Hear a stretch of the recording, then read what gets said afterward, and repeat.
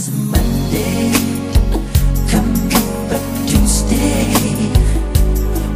Why summer start in June?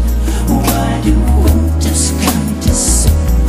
Why do people fall in love when they're always up? Oh, why? Why do I?